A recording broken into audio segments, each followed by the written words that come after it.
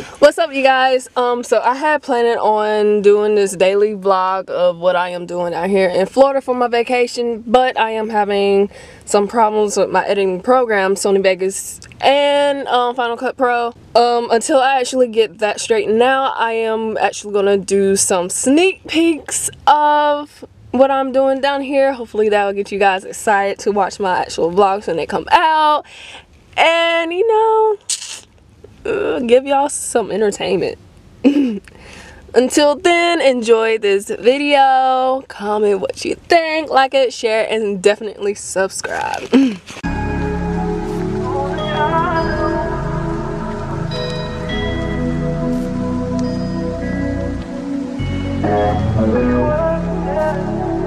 I've been up on my business, that's the only thing that I know. Eh.